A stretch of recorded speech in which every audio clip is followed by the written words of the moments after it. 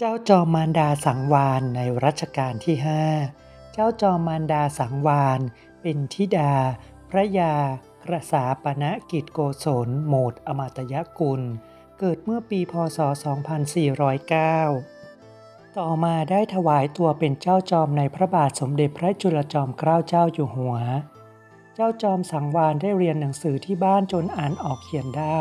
ประกอบกับที่บ้านเป็นที่อยู่ของตระกูลใหญ่ จึงมีพี่น้องชายหญิงรุ่นราวคราวเดียวกันหลายคน และมีญาติที่เชี่ยวชาญการเล่นดนตรีไทยได้หลายคน เช่น พระยาธรรมสารนิติพิพัฒน์พักดี ตาดอมาตยกุลมีศักดิ์เป็นอา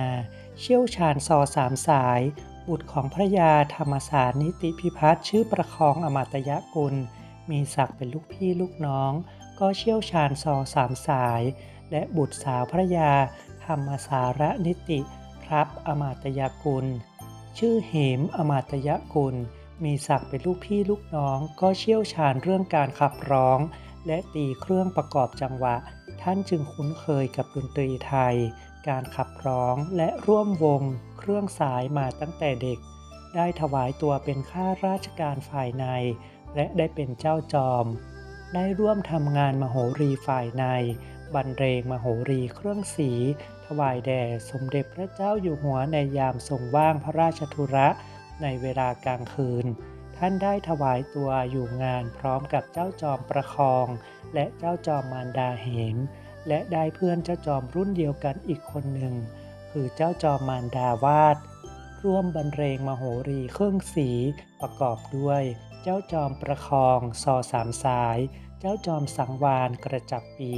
เจ้าจอมมารดาเหม ขับร้องและตีเครื่องประกอบจังหวะ เจ้าจอมมารดาวาด ขับร้องและตีเครื่องประกอบจังหวะ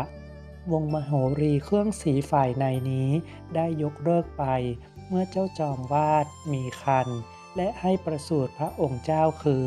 กรมพระกำแพงเพชรอัครโยธิน และเจ้าจอมมารดาเหมมีพระองค์เจ้าหญิง เหมมวดี เจ้าจอมสังวานในรัชกาลที่5 ภายหลังกราบถวายบังคมลาออกจากฝ่ายในประมาณปีพศ 2436 และได้ถึงแก่อนิจกรรมเมื่อปีพศ 2476